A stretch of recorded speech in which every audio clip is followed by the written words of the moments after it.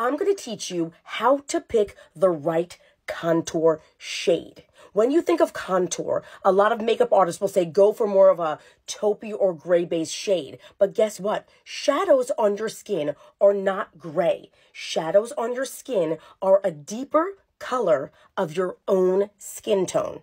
So if your skin is pinky cool, your shadow will read pinky cool. Like something like this. If your skin is warmer, tan, or a little more bronzy, your shadow is going to read more bronzy. I'll show you two stories. Basically, a contour should be a few shades deeper than your regular skin tone. As a professionally trained artist, besides makeup artist, when you're painting a shadow, you will never use a gray or taupe tone. That reads muddy. On one side, I'm going to do a cooler tone. Now, my skin is not super cool as far as contour goes. So here we go. Let's do a cooler contour here.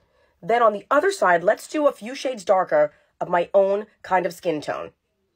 Let's say right here, okay? If you look at my fingers versus this, this is more my skin tone, right?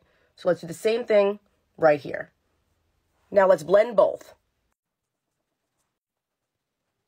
I used the Make Up For Ever contour palette to show you. So what do you think? This is the cooler contour on me, or taupey, or more grayish.